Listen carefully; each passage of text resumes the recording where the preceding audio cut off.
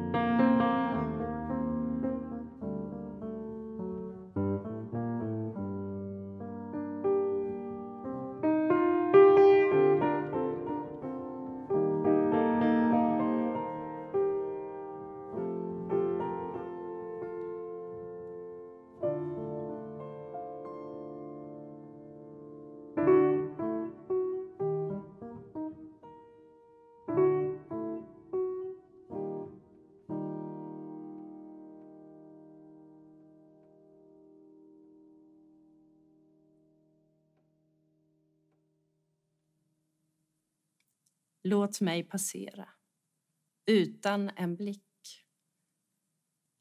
Gå bara förbi utan att fråga.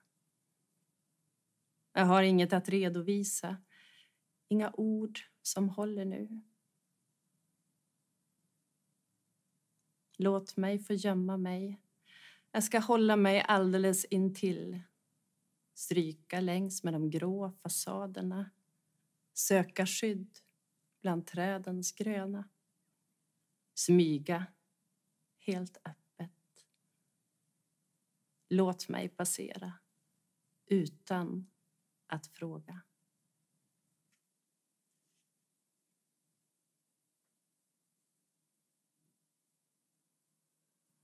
Jag ber inte längre böner om att skonas från det som alltid drabbar bara om att bli emottagen. Att fallet ska vara mjukt.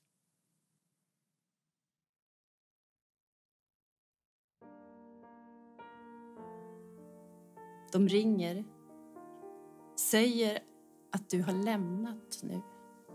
Att du är en av dem som inte längre finns kvar. Om jag ingenting svarar bara lägger på. Om orden aldrig når mig, inte får något fäste i kroppen. Om jag backar nu, går baklänges genom dagen, lägger mig igen, söker skydd under täcket. Har ingenting hänt kommer du tillbaka.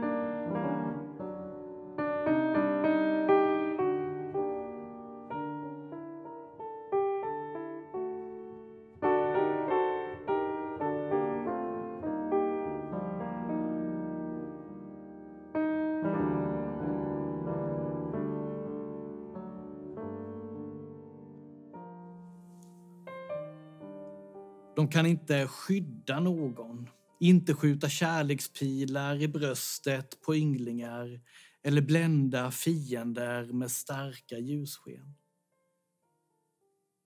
De har inga avgörande meddelanden att lämna människorna och de kan varken tala eller sjunga.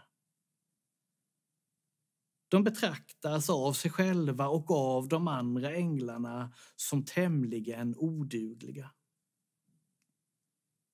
De har inte heller klätts i vita kläder eller anförtrotts vingar. De går omkring och luktar lite svett i jeans, t-shirts med nostalgiska konserttryck, Halli Hansen-koftor, toppluvor och täckjackor. Stumma änglar som bär Guds vanmakt. På den tredje dagens morgon vaknade jag, ännu vid liv, sträckte mig ut efter dig och fann att din plats var tom.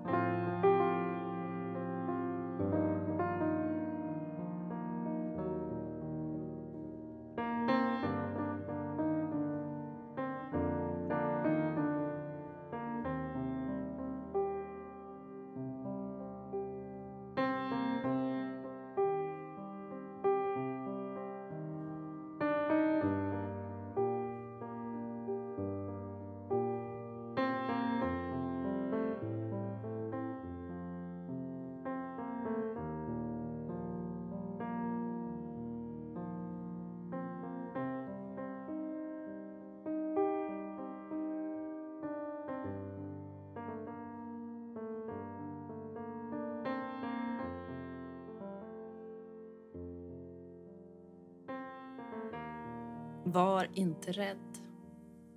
Ingen eldskrift på väggen, men en nattlampa i vägguttaget. Ett ledljus i svagt rosa. Inget Gloria i höjden, men en välkänd doft. Den lätta tyngden av täcket. Inte en bortrullad gravsten men en dörr ställd på glänt.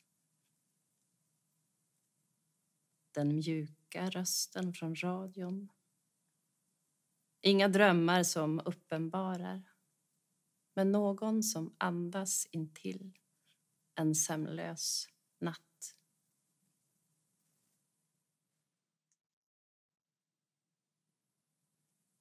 Jag vet ingenting om det här livet om hur dagarna ska hanteras, om hur nätterna ska klaras av.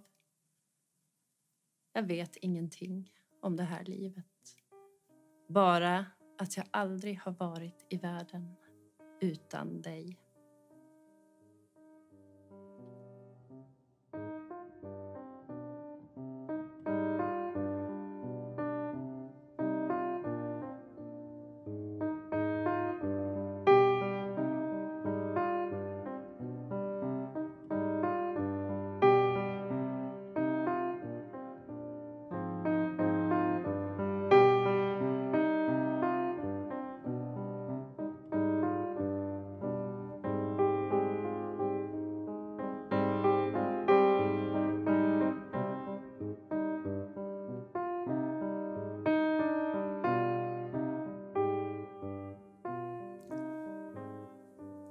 Det är änglar som i sin vanmakt inte kan något annat än att tigande stanna kvar hos den de besöker. Vi rolösa kan ana dem där de står alldeles nära och stilla bakom ryggen på människor när livet har gått sönder och allt gör ont.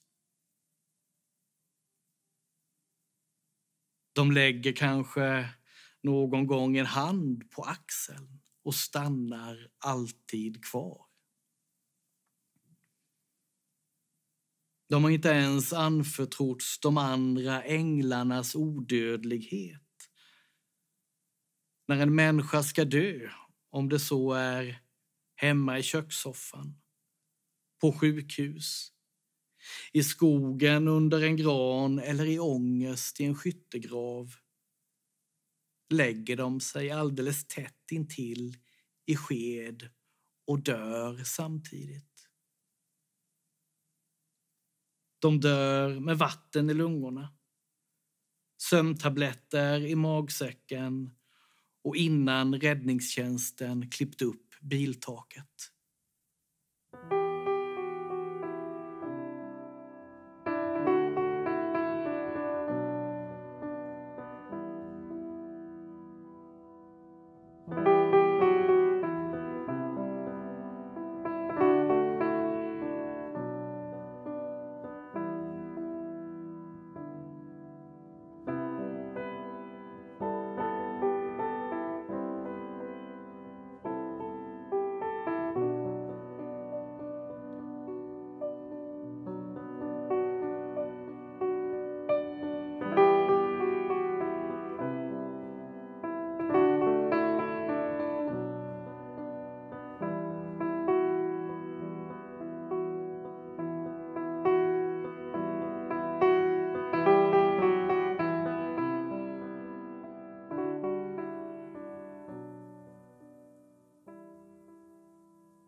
Jag var inte där.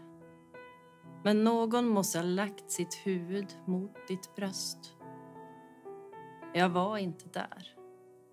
Men någon måste ha hållit dig till slutet.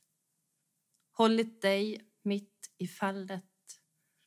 Fallit med dig ända till botten. Den närvaron, mitt enda fäste nu. Någon måste ha hållit dig.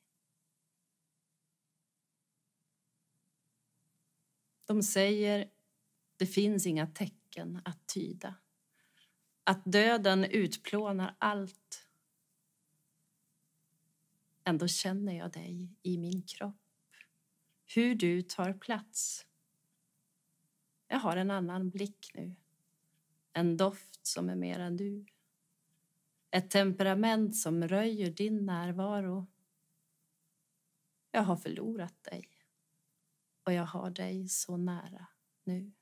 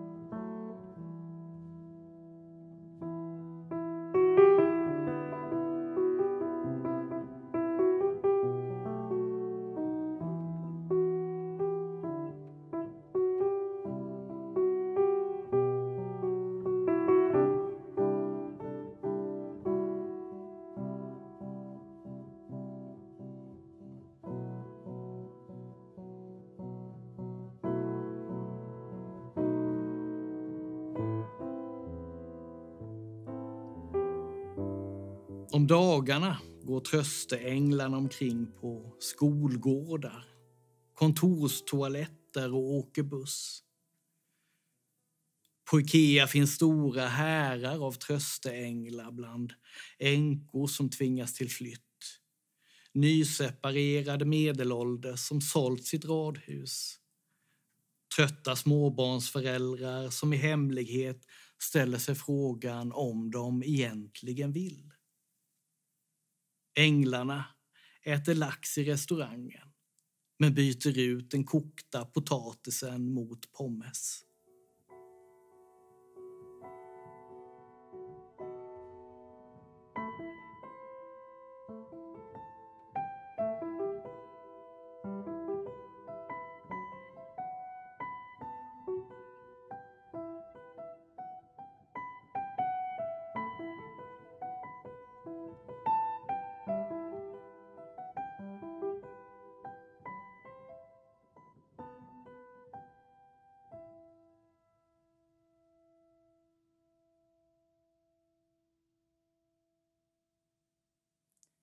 Hur våra liv nuddar vid varandra.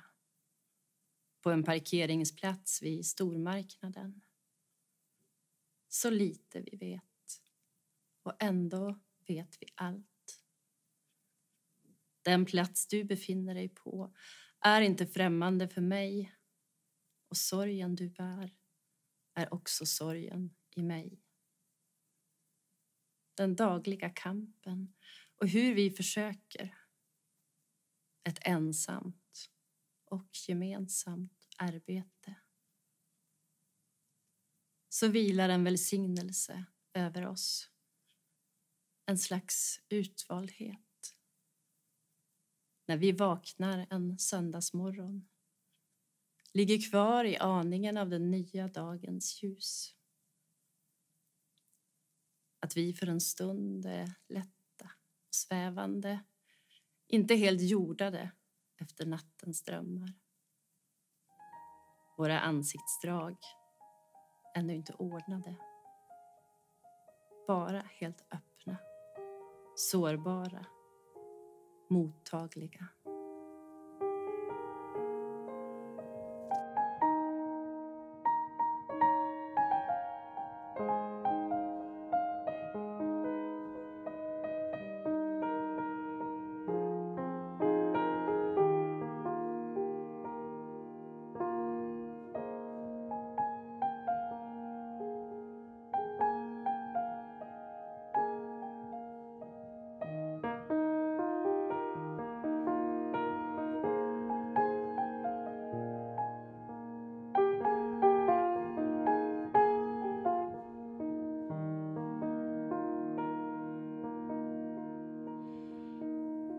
Trösteänglarna är själva tämligen oreflekterade. De skulle så gärna vilja ha vita kläder, vingar och äga odödligheten. Istället får de sitta på enkla krogar i utkanten av staden bland Jack Vegas-maskinerna. Stå i badrummet på morgonen med lärare med panikångestattacker och i visningsrummet på rättsmedicin någon dag efter mopedolyckan. På avstånd kan de som i ögonvrån se någon som cyklar gråtande över torget. Och de vet att tårar smakar salt.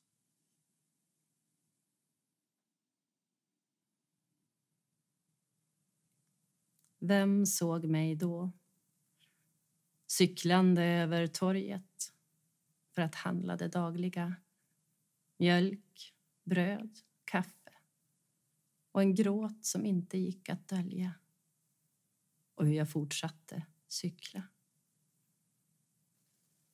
Vem såg mig då? Morgonen efter.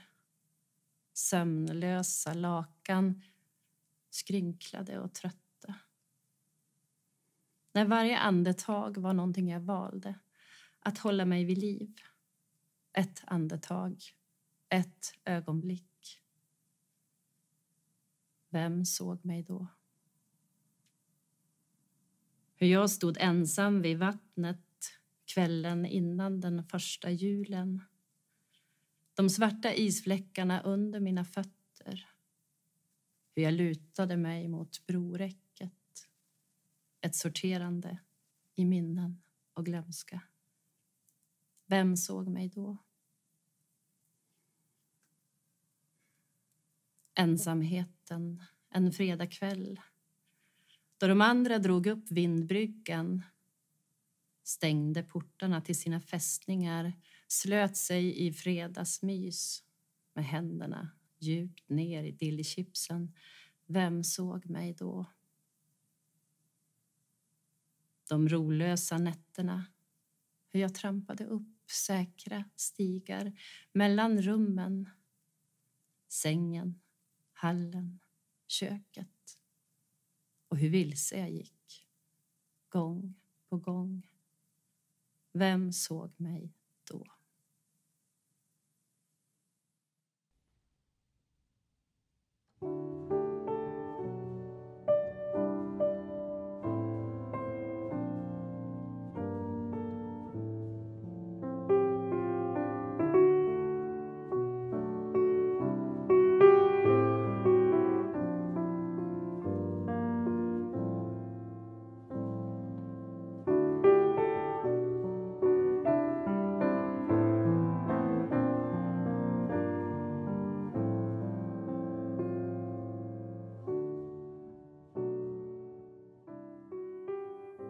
De vet inte att tröst är erfarenheten av att inte vara ensam. Tröst är inte att lindra eller att lyfta bort. Det är en Gud som i ångest skriker ut sin egen gudsövergivenhet. Så blir delad vanmakt till allmakt. Men detta vet varken trösteänglarna eller vi någonting om. Det är någons hemlighet.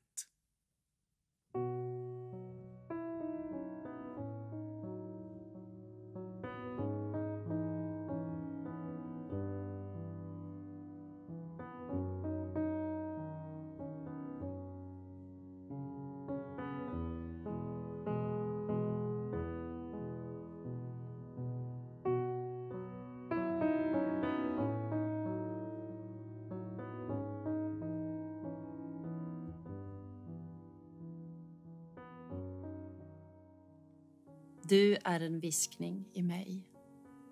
Sen. När årsdagar och tider passerat. Födelsedagar, jular, somrar. Alla de händelser som berättar om livet som det var innan. Sen kommer jag att plantera om blommor och planerna som kom av sig ska få ny jord. Jag ska fira livets återkomst med en tid på bilbesiktningen, få ett kryss i kolumnen, vardagen återtagen.